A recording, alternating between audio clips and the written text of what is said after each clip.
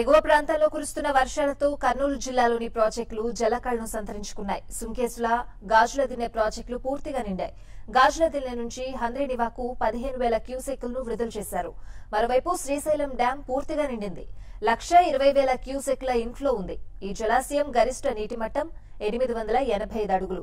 ప్రస్తుతం ఎనిమిది వందల ఎనభై నాలుగు అడుగుల మేర నీరు ఉంది. ఇదే ఫ్లో కొనసాగితే సాయంత్రానికి శ్రీశైలం గేట్లు ఎత్తివేసే అవకాశాలున్నాయి. కర్నూలు జిల్లాలో ప్రాజెక్టుల పరిస్థితిపై మరిన్ని వివరాలు మా కరెస్పాండెంట్ సురేష్ అందిస్తారు.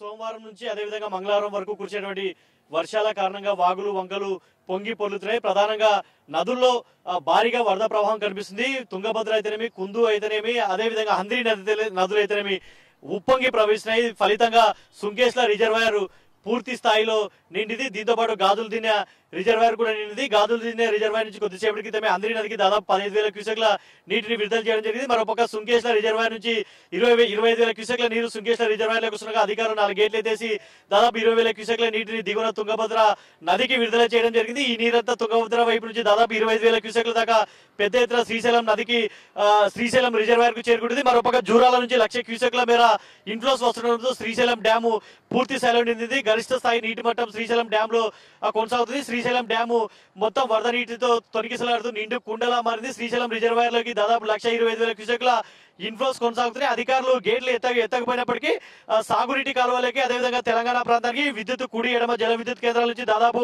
ఎనభై మూడు వేల క్యూసెక్ల నీటిని దిగువకు విడుదల చేస్తున్నారు. ఇదే ఇన్ఫ్లోస్ అంటే లక్ష యాభై వేల క్యూసెక్ల దాకా ఇన్ఫ్లోస్ కొనసాగితే ఈ సాయంకాలం కానీ రాత్రి కానీ శ్రీశైలం బ్యారేజీ గేట్లు ఎత్తేందుకు అధికారులు సిద్ధమవుతున్నారు. ఒకవేళ ఇన్ఫ్లోస్ కన్నా తగ్గిపోతే గేట్లు ఎత్తకుంటే యాస్టిస్గా గరిష్ట స్థాయి నీటి మట్టాన్ని డ్యామ్లో కొనసాగించే అవకాశం మనకు కనిపిస్తే మనం చూస్తున్నాం కష్టం కర్నూలు నగరంలోని హంద్రీ నగిలో వరద వరద ప్రవాహం కొనసాగుతుంది వరద ఉధృతి కొనసాగుతుంది. నిన్న నిన్న భారీగా పెరిగినటువంటి వరద ప్రవాహం వల్ల కర్నూలులోని లోతట్టు ఆ, కాలనీలని మునిగిపోవడం జరిగింది. జమ్మి చెట్టు అదేవిధంగా గడ్డ ప్రాంతము వడగేరు అయితేనేమి గరీబ్ నగర్ అయితేనేమి అదేవిధంగా బుధవారపేట చెంచు నగర్ కాలనీలన్నీ కూడా లోతట్టు లోతట్టు ప్రాంతాలన్నీ కూడా నీట మునిగాయి. ప్రజలు తీవ్ర స్థాయిలో ఇబ్బంది పడ్డారు.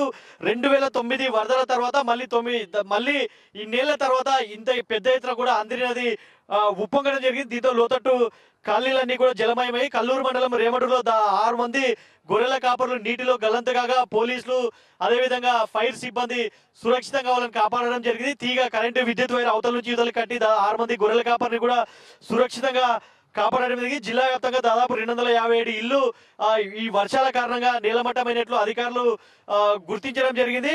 మొత్తం యాభై జిల్లా వ్యాప్తంగా యాభై నాలుగు మండలాలు అంటే ఒక నాలుగు మండలాలు హోలగుంద అదేవిధంగా మహానంది ఆలహర్వి చాగల మరి ఈ నాలుగు మండలాలు మినహాయిస్తే మిగతా యాభై యాభై మండలాల పరిధిలో వర్షం కురిసిన వర్షాలు తీవ్ర స్థాయిలో అంటే ఒక మోస్తరు నుంచి భారీ వర్షాలు కురవడం జరిగింది.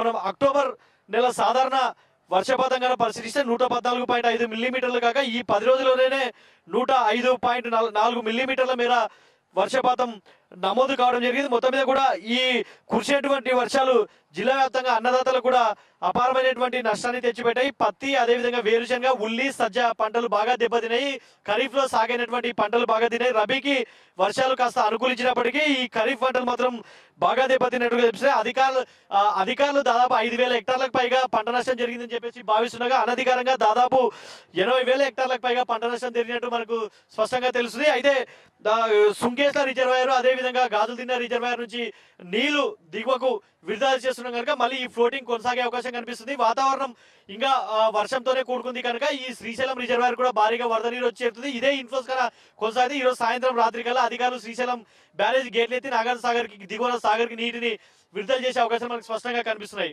ఇది ఇక్కడ పరిస్థితి. కెమెరామెన్ మోహన్తో సురేష్ టీవీ ఫైవ్ కర్నూలు. అనంతపురం జిల్లాలో భారీ వర్షాలు కురుస్తున్నాయి. నిన్న రాత్రి పడ్డ వర్షానికి ఉరకొండలోని శివరామరెడ్డి కాలనీ జలమయమైంది. ఇళ్ళలోకి నీరు చేరడంతో జనం తీవ్ర ఇబ్బందులు ఎదుర్కొంటున్నారు. నిత్యావసర వస్తువులు పూర్తిగా తడిసిపోవడంతో పిల్లలు పెద్దలు తిండి లేక పస్తులుండాల్సిన పరిస్థితి వచ్చింది. అధికారులు తమ గోడు పట్టించుకోవడం లేదని స్థానికులు మండిపడుతున్నారు.